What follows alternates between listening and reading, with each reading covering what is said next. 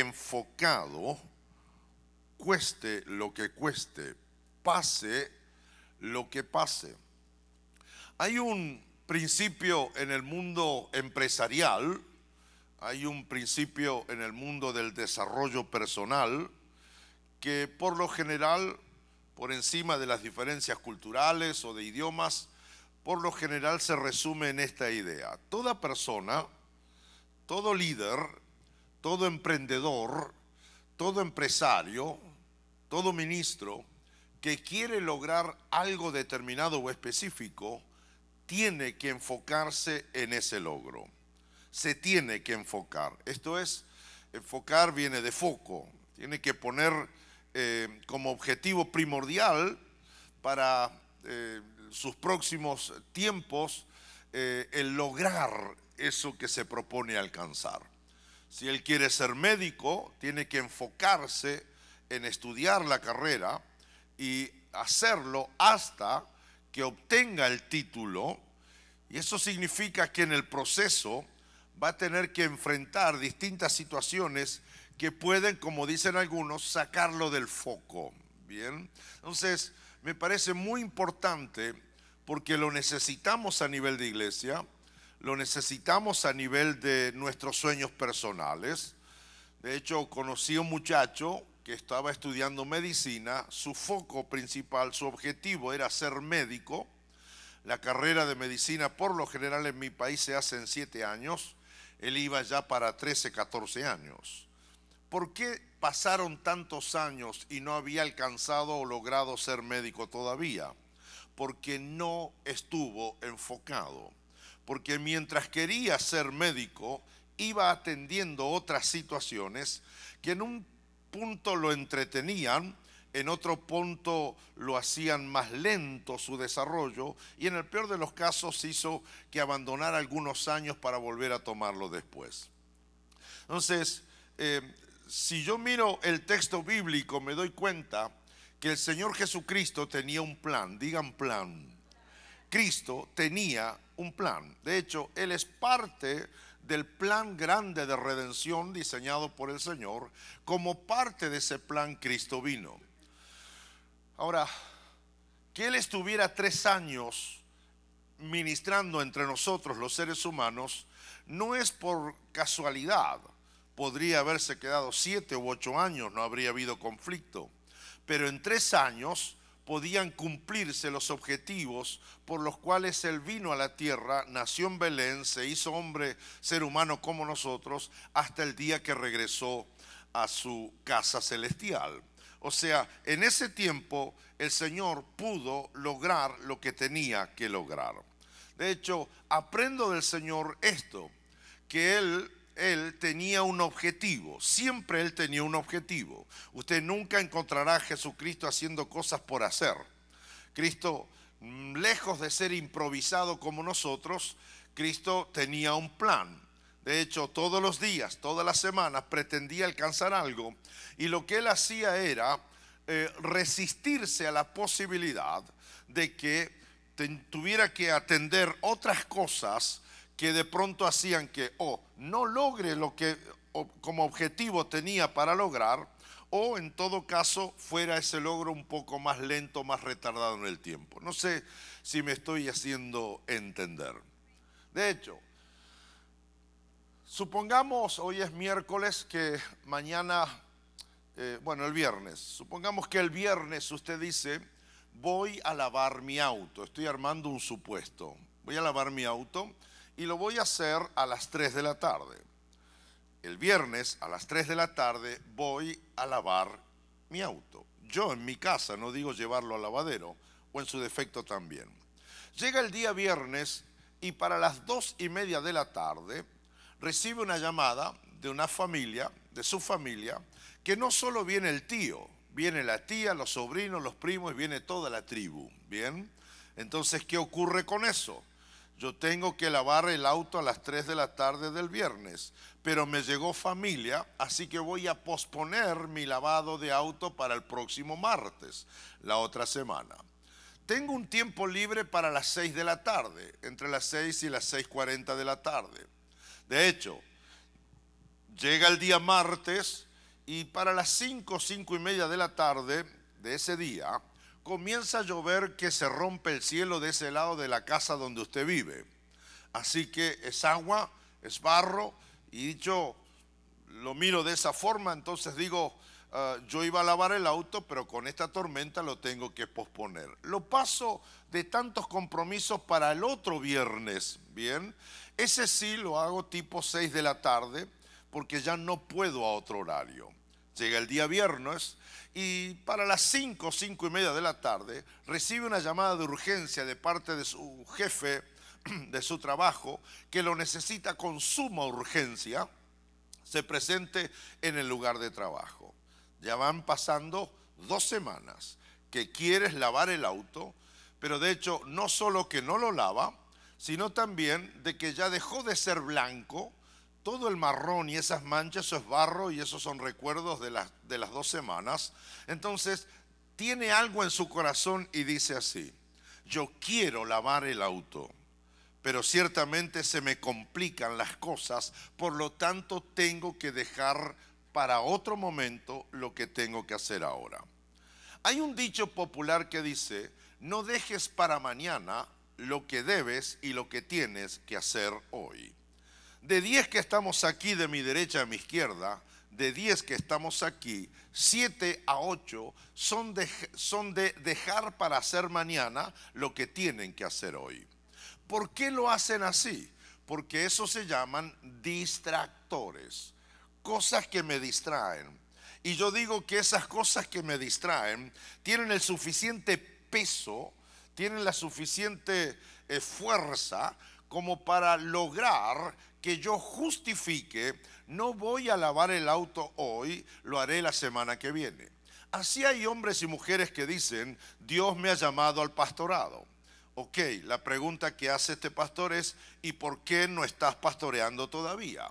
Porque de hecho estoy resolviendo algunas cosas primero, que termino la casa, que cambio el perro, que pago una deuda, que recupero eh, la sanidad del cuerpo, que me duele la pata, que la cabeza no sé qué cosa, que una vez que organice todo. Lo mismo pasa con algunos que se quieren casar.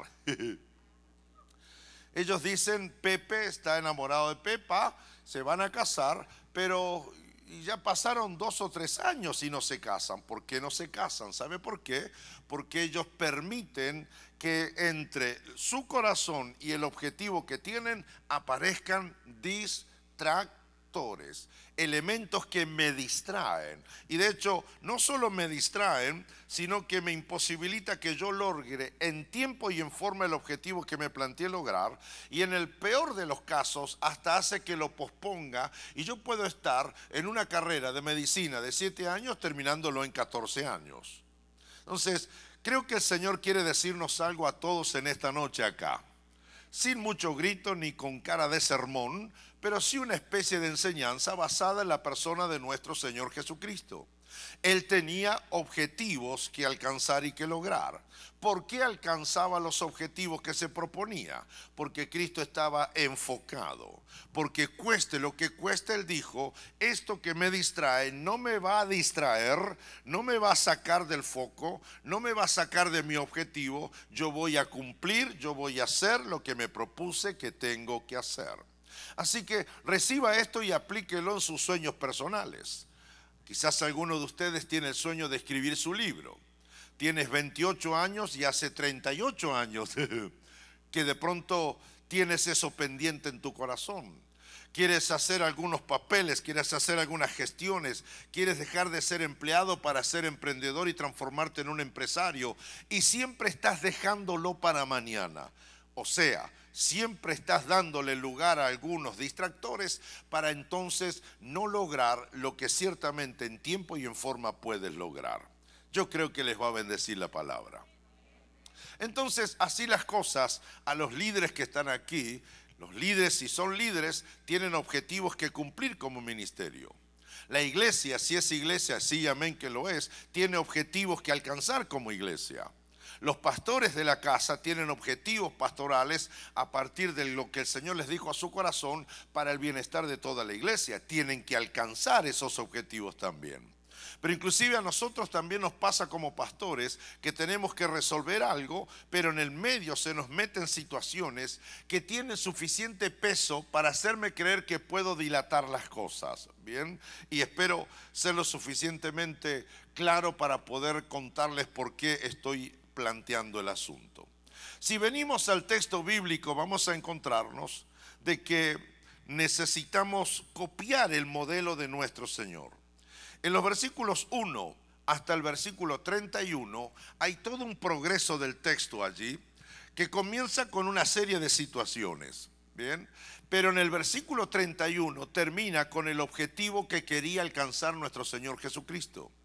A lo largo de ese texto del capítulo 7 del libro de Juan, hay 30 versículos donde aparecen distintos distractores. Lo que tengo yo ahora como, como esfuerzo eh, siendo un lector de la Biblia miles de años después es, quiero ver, quiero ver, quiero comprobar, quiero saber acerca de lo que Cristo tiene como objetivo, si Él le dio tiempo a las distracciones o si Él siguió enfocado en lo que tenía que lograr.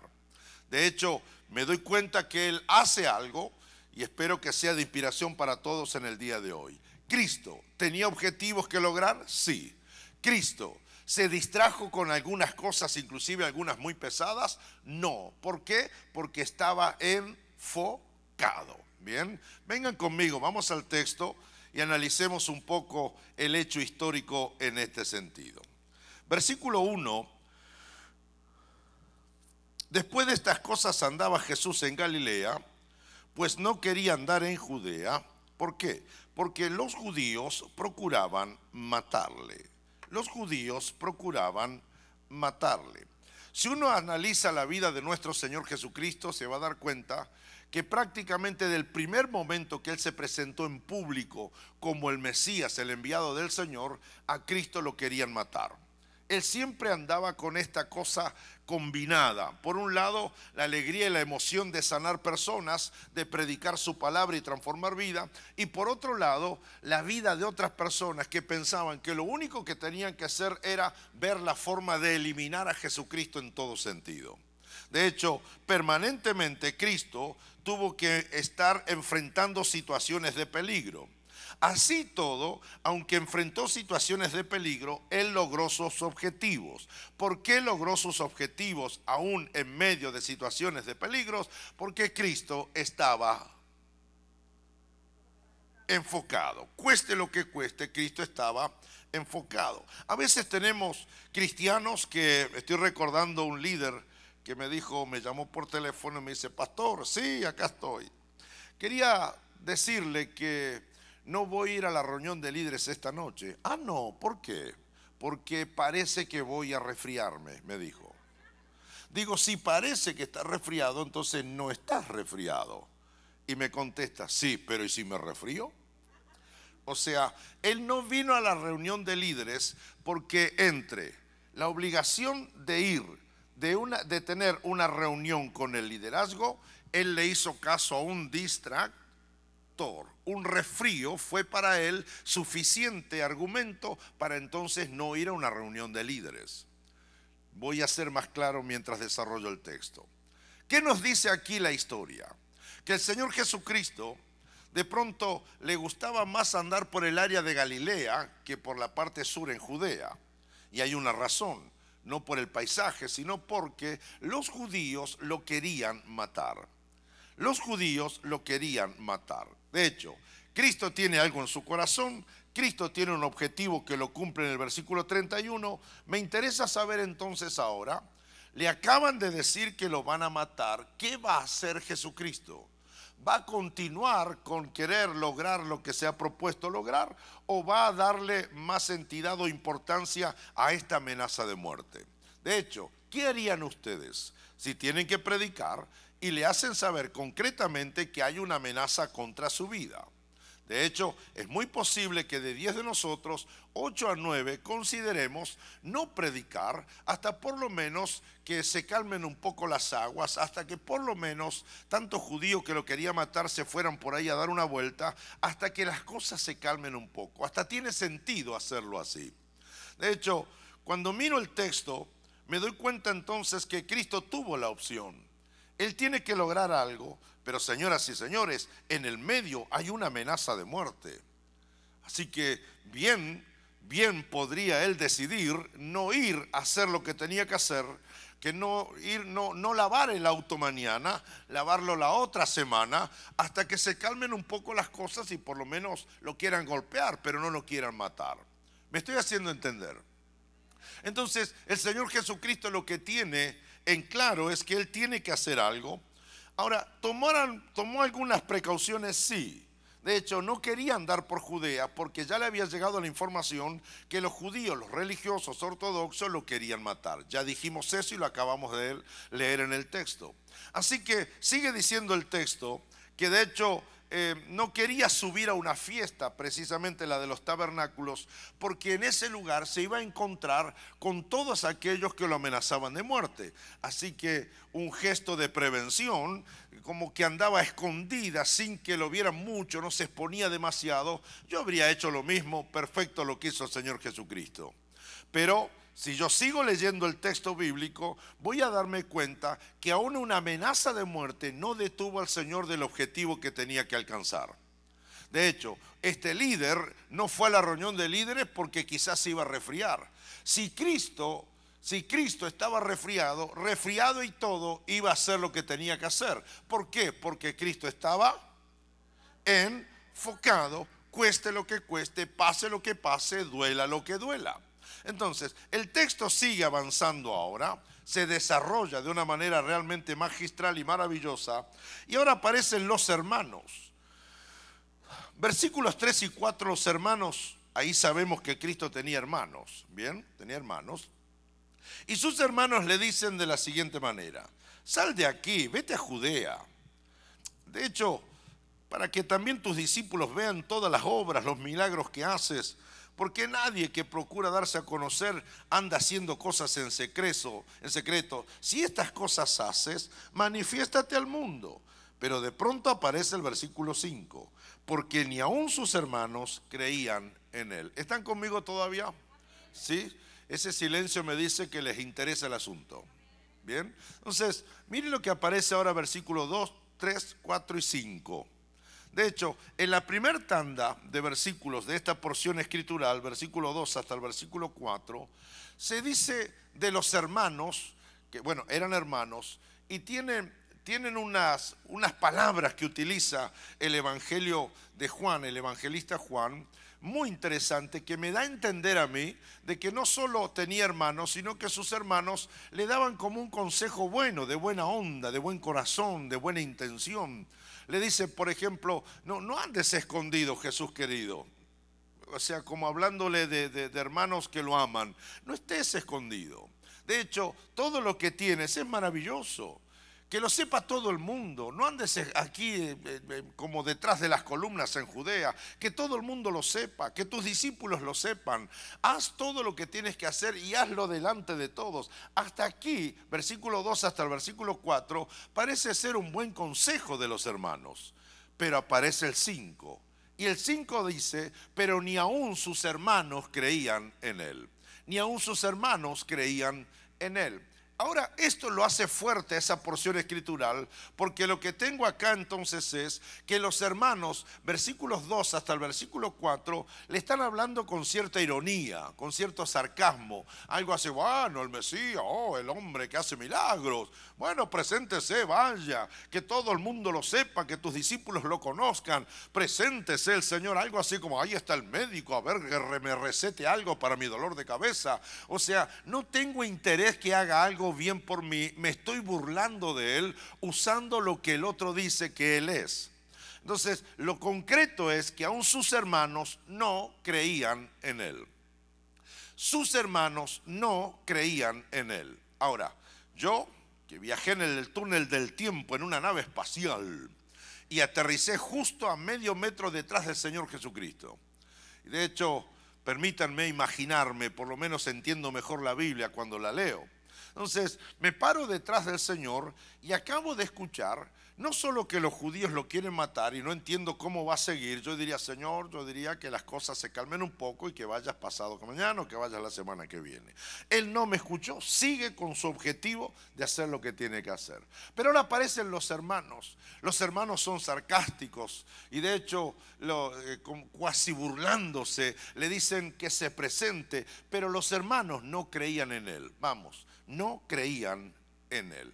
Hay algo triste entre nosotros los seres humanos y es cuando otro humano no cree en nosotros.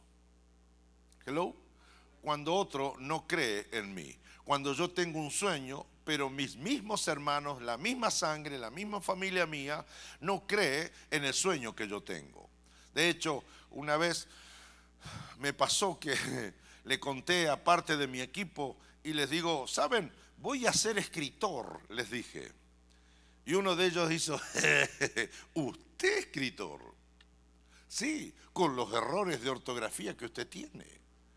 O sea, cuando me dijo eso, entendí este texto. Es una persona que no creía en lo que yo decía que iba a ser. Ahora, no sé cuántos de ustedes les ha pasado alguna vez eso. Vamos, confiesen pecadores. Digo, hermanos, confiesen. Les tiene que haber pasado la gran mayoría que hay otro que no cree en usted. Bien. Ahora, también es verdad que no tiene por qué creer. Yo no estoy desesperado a ver si cree en mi ministerio el vecino del frente del templo nuestro. No, no, no. El asunto es cuando el que no cree en mí es de mi propia sangre. Ese es otro tema. Bien. Entonces, eh, pasado el tiempo, pasaron tres años, y la pastora Cristina me dice, amor, no te veo escribir. Le digo, y no, ma, ¿qué voy a escribir? Con los errores de ortografía que yo tengo.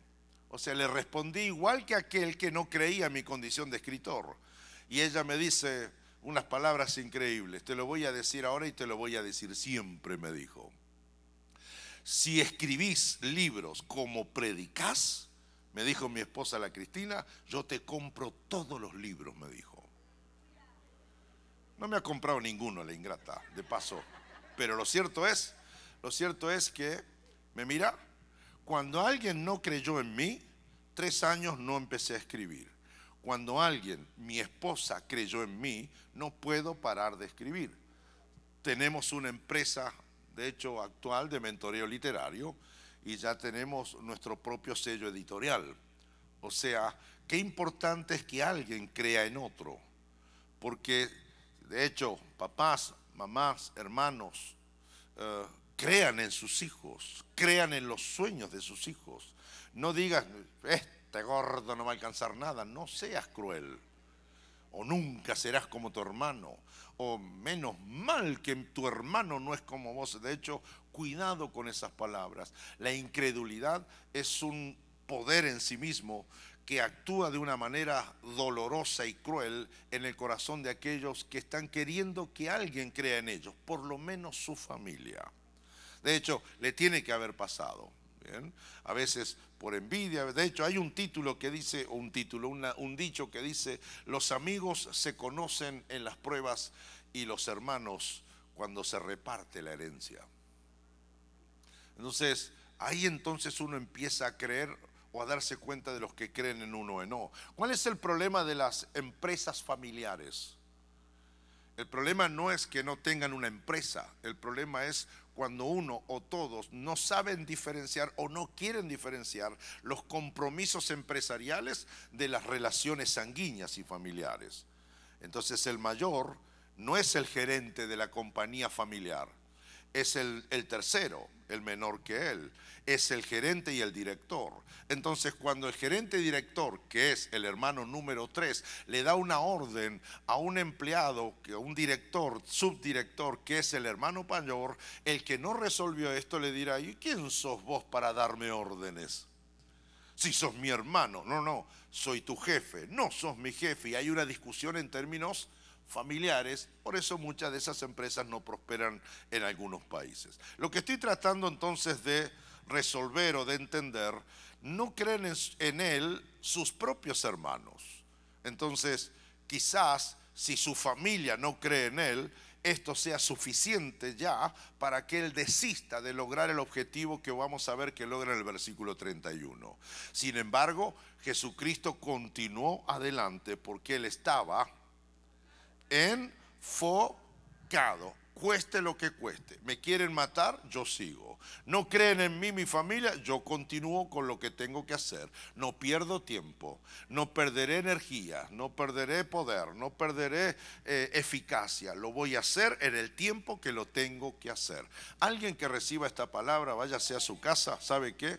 Usted va a lograr lo que tiene que lograr si tienes la valentía de decirle que no a los distractores en tu ministerio, en la iglesia, en el oficio pastoral, aún dentro de todo el esquema de tus estudios, de los objetivos que te planteas, por mínimos que parezcan, tenga esto presente, por favor. Sea valiente y no le dé permiso a estos distractores a que tiren más abajo tu sueño, a que eh, alarguen más en el tiempo eso que quieres lograr. Pero esto no termina aquí. Continúa diciendo, vamos una más.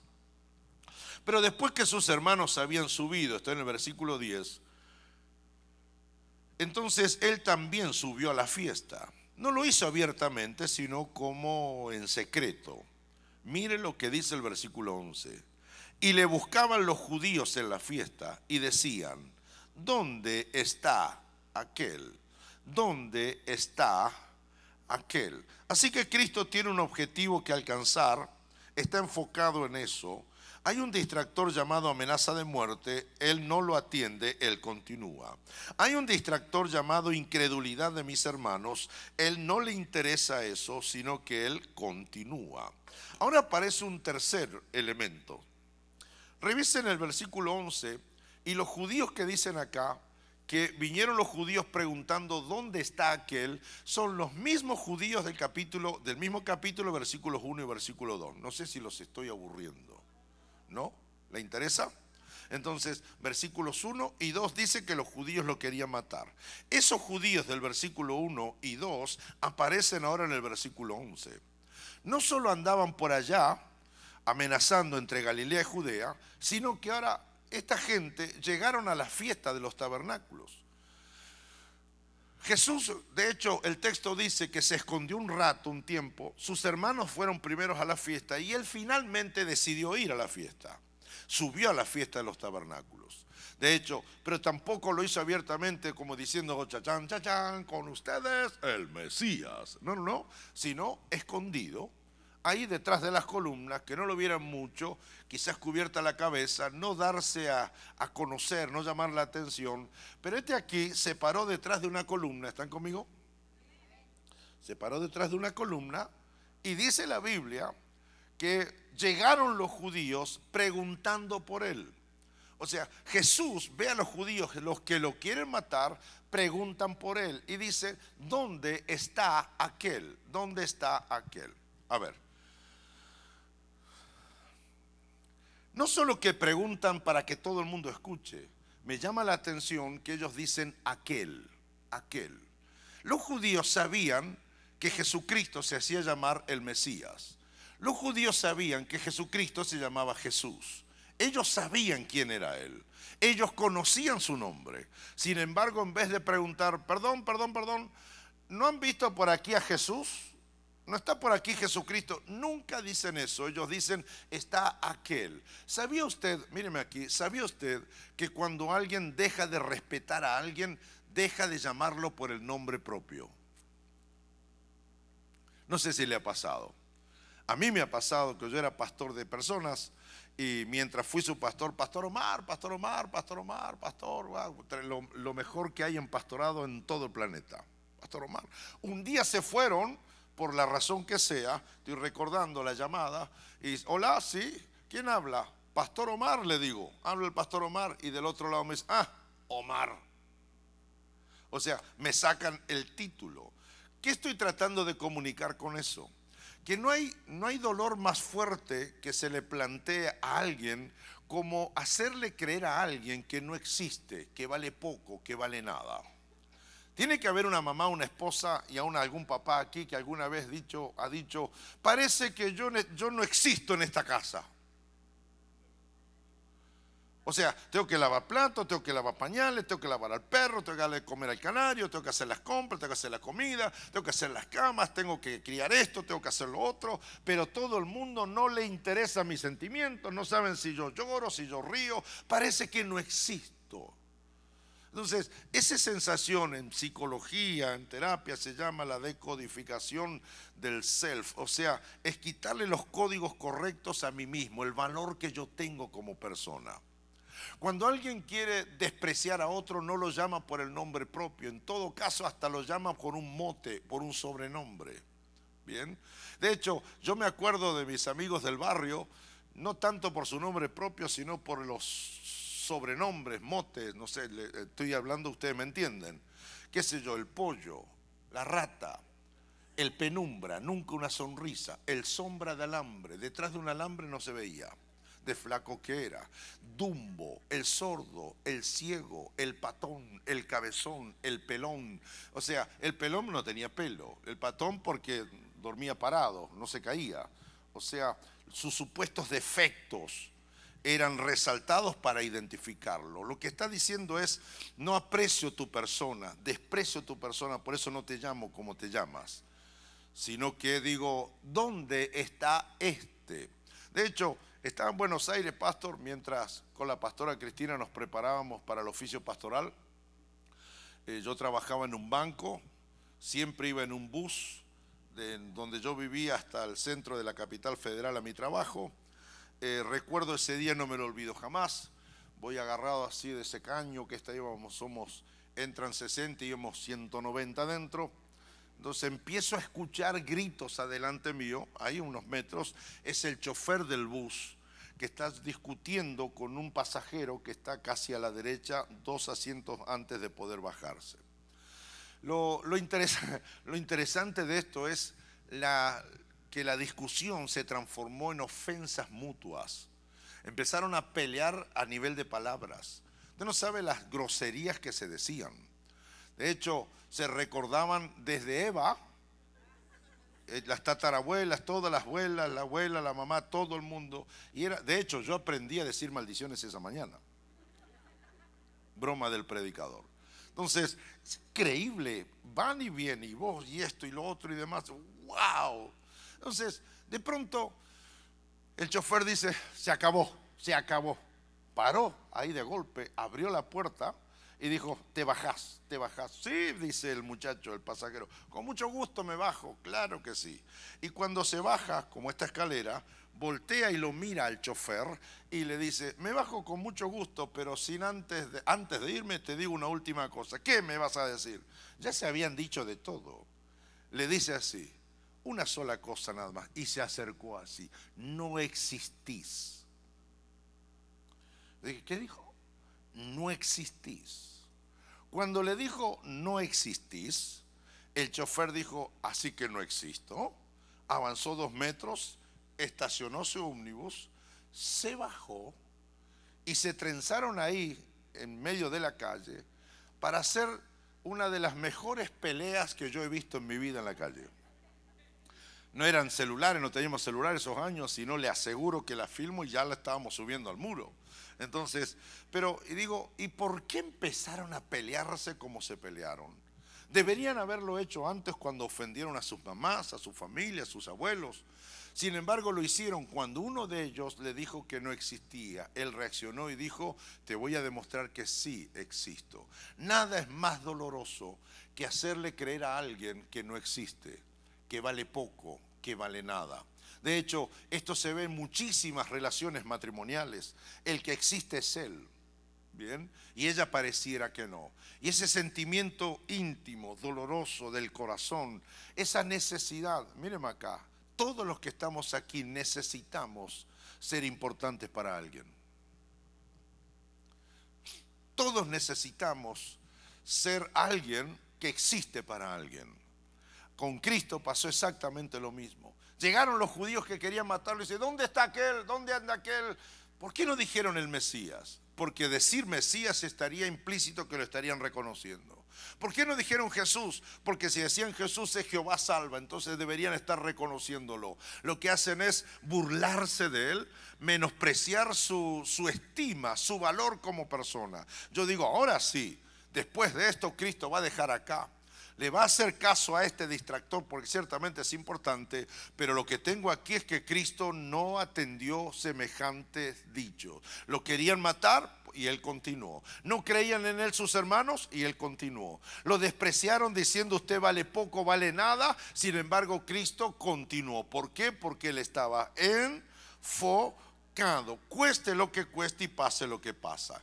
Promediando esta palabra, aparece ahora el versículo número 12 y dice, había gran murmullo acerca de él entre la multitud, pues unos decían, es bueno, pero otros decían, no, sino que engaña al pueblo. Murmullo.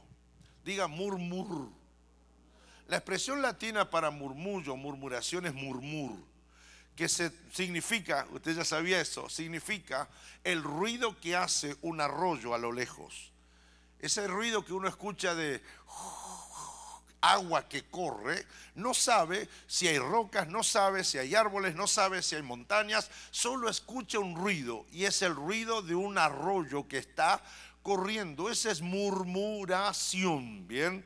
De hecho, murmuración significa escucho algo que dicen de escucho que alguien está hablando de. No está hablando con aquel de quien habla, sino que se escucha a lo lejos, allá a lo lejos. Se decía, algunos decían, Cristo es buena gente. Allá a lo lejos, otros decían, no, es una engañadora, engaña al pueblo. La murmuración. De hecho, supongo que usted sabe de qué estoy hablando. ¿Alguna vez te percataste que estaban murmurando de usted? Que han hablado de usted? ¿Qué, ¿Qué sintió? Le pasa como al pastor Omar que cuando se entera que hablan de él, tengo unas ganas de lo voy a ir a buscar. Y nos vamos a aclarar un par de cosas. ¿Han hablado mal de usted alguna vez? Ajá. ¿Has murmurado de alguien alguna vez? Ah, no, muy bien. Eh, oren por mí, por favor, antes de irme a casa, porque el nivel de espiritualidad aquí es supra mayor. Entonces, una cosa es que murmuren de uno y otra cosa es uno murmurar del otro.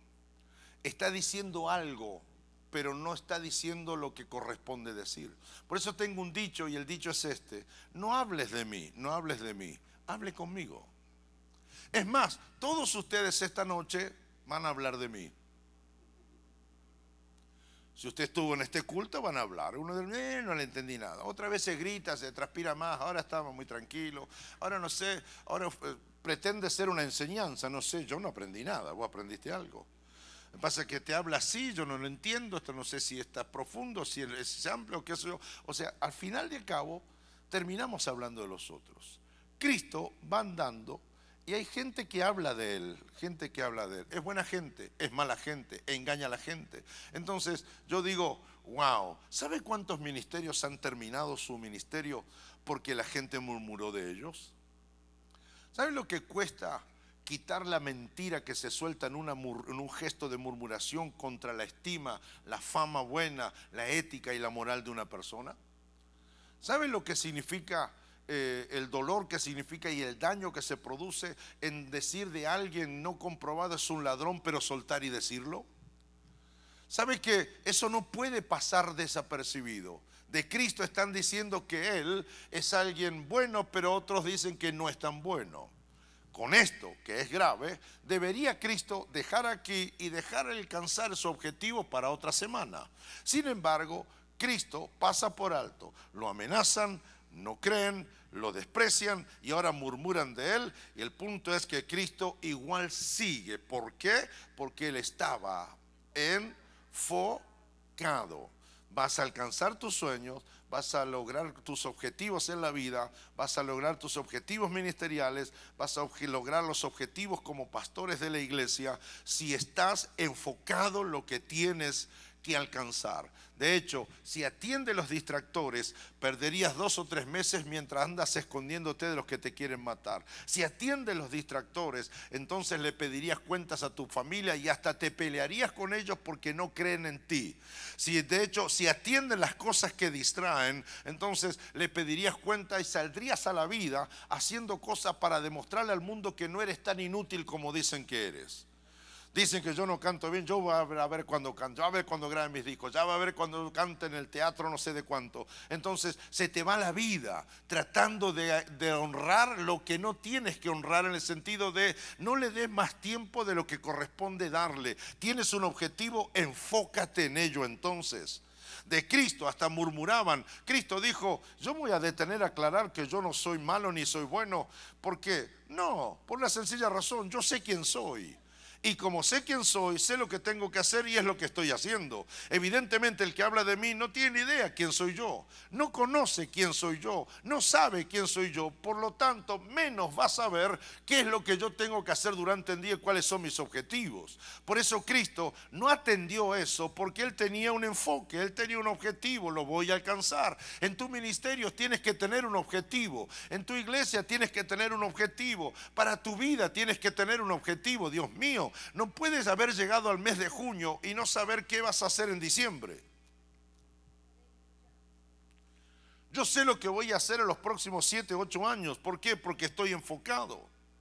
No soy mejor ni peor que nadie en este, por eso si usted no lo sabía, quizás tengo la autoridad para contártelo. No sé si califico para decir, para enseñártelo, pero por el amor de Dios tienes que ponerte objetivos y tienes que tener la determinación que no haya entretenimientos, que no hayan distractores, que te saquen del foco, porque en el proceso pierdes tiempo, pierdes dinero, pierdes amistades y hasta es posible que pierdas las ganas de seguir haciendo lo que tenías que hacer. Cristo no lo hizo porque él estaba enfocado. De hecho, continúa ahora recta final diciendo algunas cosas más. Ahora llegamos al 19, 20 y 21. No os dio Moisés la ley, ninguno de vosotros cumple la ley. ¿Por qué procuráis matarme? Respondió la multitud y dijo, demonio tienes. ¿Quién te quiere matar? Estás endemoniado. ¡Wow! Como si ya no fuera suficiente todo lo que le dijeron. Ahora dicen que Cristo está endemoniado. Ahora dicen que Cristo sanó a la gente por el poder y la fuerza de un demonio. Eso, señoras y señores, eso no es un detalle menor. Eso es grave. Si se quiere, eso es gravísimo. Están sembrando un nivel de incredulidad en su persona porque Él se presenta como Dios, pero ellos dicen, usted no es Dios, usted es el mismísimo diablo, usted es Satanás, usted es un demonio. O sea, ninguna de estas cosas que dijeron contra Él son cosas para bendecirlo, edificarlo, para hablarle bien. Todo tiene que ver con lo negativo, todo tiene que ver con la suciedad, todo tiene que ver con las malas intenciones y las malas motivaciones. Entonces, Cristo tiene un objetivo y ahora acaban de decirle que está endemoniado. De hecho, quizás si te lo dicen, tu reacción sea la de un endemoniado. Yo endemoniado. Ah, entonces, ¿por qué? Porque no es justo. No me digas eso, yo no estoy endemoniado. Entonces, ¿Cristo se defiende de eso? No. Él le planteó y le dijo una cosa. Hey, ustedes dicen que conocen la ley, pero ustedes no viven la ley. El problema de ustedes es que sanea, de hecho, al paralítico de Bethesda hace unos días atrás, dos capítulos para atrás, y el punto es que ustedes no creen. Y como no creen, lo mejor, la, mejor vestimenta para cubrir, cubrir la incredulidad es decirle al otro que está endemoniado. Entonces mi pregunta es, ¿qué va a hacer Jesucristo? ¿Lo va a hacer o no va a hacer? ¿Va a avanzar o no va a avanzar? El hombre está endemoniado o, atiende eso o por cuanto no lo está, simplemente va a seguir haciendo lo que él tiene que hacer. Ahora bien, no termina allí, sino que ahora en el versículo 30, entonces procuraban prenderle, pero ninguno le echó mano porque aún no había llegado su hora. Si están acompañándome hasta aquí, acompáñenme los últimos siete que quedan. Qué interesante, porque ahora, recuerden, vamos a hacer el, repaso. En el versículo 1 del capítulo 7, los judíos lo quieren matar. Sus hermanos no creen en él. De hecho, los judíos siguen con la idea de matarlo y lo, lo desvalorizan, ni le llaman por su nombre. Como si esto fuera poco, la gente empezó a murmurar de él, como que todo el mundo lo tenía en contra. Hay más todavía, más grave, acusan a Cristo de que está endemoniado. Mi pregunta, miles de años después, es, ¿Cristo va a seguir haciendo lo que dijo que tiene que hacer o le va a dar entidad e importancia a lo que han dicho de él, que no son cosas menores? Eso es fuerte, es doloroso, es justo que se defienda. De hecho, aún no termina esta parte, sino que ahora dice el versículo 30 que insistían con querer prenderle, lo quieren detener. O sea, si Cristo se para a predicar, no quieren escucharlo, lo quieren detener. Si Cristo se para a dar una enseñanza, no quieren escuchar su enseñanza, lo que quieren es esposarlo, detenerlo, llevárselo, eliminarlo, matarlo. Eso es lo que quieren. O sea, a ver, ¿cómo haríamos o cómo haría usted si sabe que tienes que predicar y tienes una multitud en tu contra? Unos murmuran, los otros te quieren matar, aquellos se ríen, los otros se avergüenzan, los otros hablan mal de uno escondida. De hecho, uno dice, endemoniado, endemoniado, endemoniado. ¿Seguirías haciendo lo que tienes que hacer? Cristo siguió haciendo lo que tenía que hacer porque él estaba enfocado. Y el texto dice que al final del día y del proceso insistían con querer detenerlo, esposarlo, llevárselo para eliminarlo. Pero luego del 30, tremendo, viene el versículo 31 y dice, y muchos de la multitud creyeron en él y decían, el Cristo cuando venga hará más señales que las que éste hace. Dios mío, una sonrisa le quedaría bien. Eh, qué bueno que llegó el versículo 31. ¿Qué dice el versículo 31? Que muchos de la multitud creyeron en él. Y decían, y decían, el Cristo cuando venga hará cosas más grandes que las que este hombre está haciendo. Lo que tengo en el versículo 31 es la reacción concreta de gente que reconoce que Cristo es el Señor y el Salvador de su vida. Dice la multitud. Y el texto en su original no hace distinción de la multitud del versículo 31 a toda la multitud a lo largo del capítulo 7, versículos 1 al 30. Lo que estoy tratando de, que me, me, entiendas es que ¿quiénes son los que creyeron en él? Varios de aquellos que querían matarlo. ¿Quiénes son los que creyeron en Él? Varios de los que no creían en Él, varios de los que se burlaron de Él, varios de los que murmuraron de Él, varios de los que acusaron a Cristo de endemoniado. Esa multitud de pronto ahora, al ver la persistencia de Jesucristo, provoca entonces un cambio en ellos de actitud hacia Él, al punto que creen en Él y dan un testimonio. Cuando venga el Cristo hará cosas más grandes que esta, entiéndase, señoras y señores, este es Jesucristo. Esta es la esperanza. Este es el Mesías, este es el Hijo de Dios, porque lo quisimos matar, nos reímos de él, no creímos en él, murmuramos en él, de él lo acusamos de endemoniado, lo quisimos detener, el hombre no se sentó, no abandonó, no corrió, no se quedó en la casa, lavó el auto al otro día a las 3 de la tarde, lo tengo que hacer y lo voy a hacer. ¿Cuál era su objetivo? Tengo que predicar y cuando predique voy a esperar que muchos crean en mí. Ese su objetivo. Su objetivo no era pelear con los que no creían en él. Su objetivo no era pelear con los que lo querían matar. Su objetivo no era discutir con los que murmuraban. Su objetivo era predicar. No me van a sacar de mi objetivo. Alguien que reciba esta palabra. Si vas a dedicar años de tu vida a pelear con los que no creen en ti, a con, con los que murmuran contra ti, cuando los que te dicen y te acusan que estás endemoniado, se te va a ir la vida.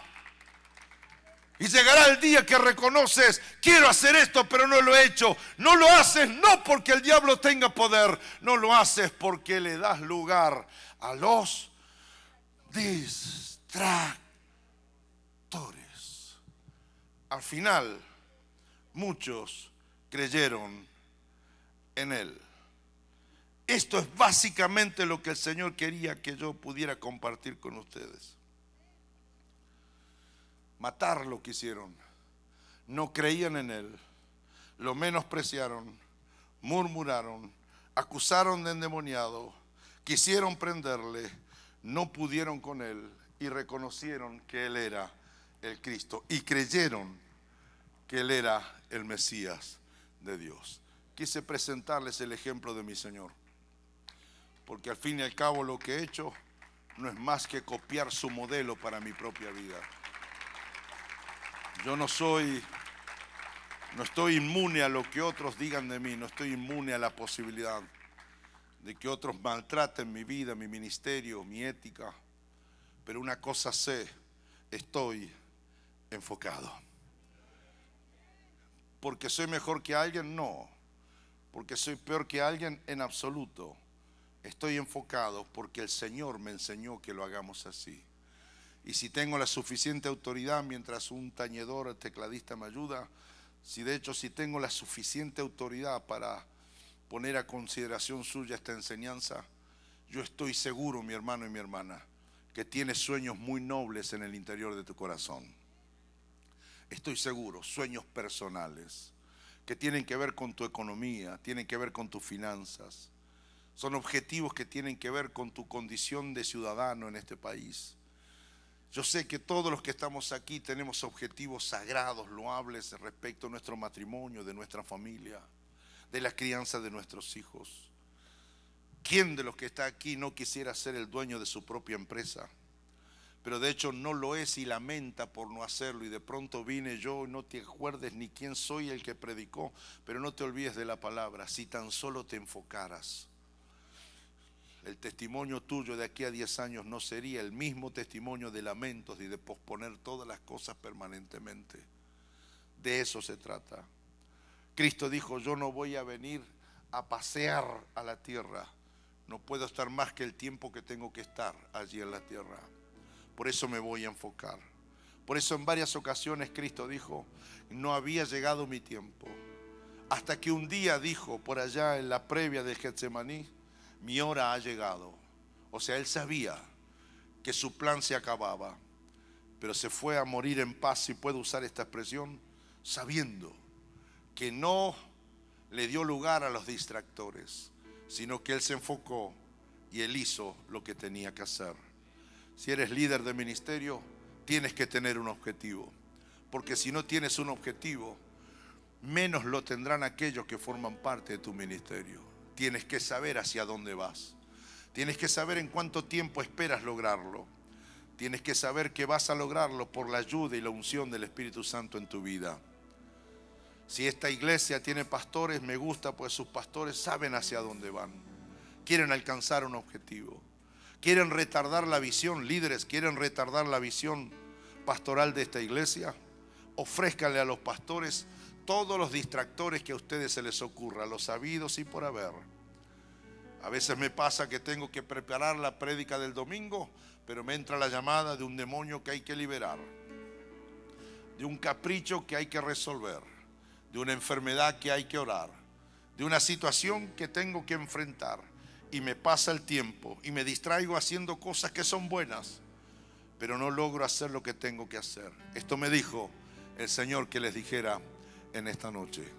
Vete a casa con la decisión de alcanzar lo que has soñado siempre alcanzar. Serás escritora, serás cantora, tendrás tu propia empresa. Es digno, es lícito es justo, escríbelo, pero también escribe el tiempo en el que lo vas a alcanzar. Establecete metas concretas. Y de hecho, es más, si te llega familia, y de hecho la familia llega y tienes que suspender la lavada del auto, no, no, no, no lo suspendas. Dígale a los salvajes de tu familia que vienen a comerse todo, dígale, hey, antes de sentarse, vengan ustedes dos, ayúdenme, tengo que terminar de lavar el auto. De hecho, dile a otro que te ayude a mantenerte enfocado. Esposo, esposa, papá, mamá, enfóquense. No tengan hijos nada más, sepan qué van a hacer con ellos. Enfóquense. De modo que, aun con las rabietas del hijo y sus rebeldías, que nada te saque del foco. Esa es la decisión que tienes que tener y mantener. De hecho, nadie lo hará a menos que lo haga usted. El diablo hará exactamente lo contrario el diablo detendrá el ómnibus, bajará el chofer para que te agarre a golpes en la calle y pierda más tiempo y salgas herido en el proceso. Así entonces quiero orar y entregar al pastor, agradecido de corazón que una vez más me invitaron para poder compartir una variante de otra forma, no tanto el sermón para alentarte y avivarte, sino una enseñanza concreta. Si eres líder, plantéate objetivos. Como pastor, como líder, Si eres hombre o mujer que quiere alcanzar cosas en su vida, escribe lo que quieres alcanzar y que eso que escribes sea tu foco. Aprende y sé valiente a ubicar a los distractores, de tal modo que ellos te ayuden, pero que no te distraigan y hagan que pases más tiempo del que debes pasar para alcanzar un sueño, para alcanzar un objetivo. Así me he manejado en la vida y creo que más o menos me ha ido bien. Por eso te doy gracias, oh Dios, en esta noche, por la vida, por la salud. Te doy gracias por la atención de mis hermanos al ofrecerme sus oídos y oír lo que tú dijiste que les dijera y pusiste en mi corazón. Te doy las gracias después de todo este mes de predicar todos los días prácticamente y viajar de un lugar a otro. Sigues renovando mis fuerzas para poder poner, Señor, a consideración de mis hermanos de esta iglesia tan especial, de los líderes de esta iglesia tan amada. Señor, una revelación que así como sencilla es, también es efectiva. Ayuda a mi hermana, a mi hermano, ayuda al hombre, a la mujer de Dios. Ayúdanos como líderes, como pastores, como ministros a tener la valentía de ponernos objetivos, de enfocarnos. Ayuda a mi hermana, ayuda a mi hermano en sus sueños personales. Oh Dios, que pueda creer que a pesar de que no crean en él, en ella, a pesar de las burlas, a pesar del menosprecio, a pesar de las amenazas, Señor, hazlo tan pero tan valiente, llénalo pero de tal clase de valentía solo y propia de la que viene de ti y tu presencia en relación con nosotros, Señor, que al cabo de siete meses, al cabo de nueve meses, al cabo de un año, al cabo de un tiempo específico, pueda gozarse, danzar y gritar de que logró lo que tenía que lograr. Señor, dales que lleguen a su versículo 31, para que aún aquellos que fueron en contra de ellos, hablaron mal de ellos, hicieron descrédito de ellos, aún ellos terminen creyendo que cuando hay alguien que sabe quién es y sabe lo que quiere, va a inspirar a otros para la gloria de tu nombre, en el bendito y poderoso nombre de Cristo Jesús nuestro Señor. Amén, Señor, amén.